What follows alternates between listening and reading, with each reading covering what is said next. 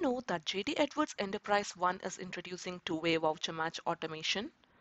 The voucher match automation process is enhanced to automatically match purchase orders that do not require receipts for the supplier invoices through two-way matching.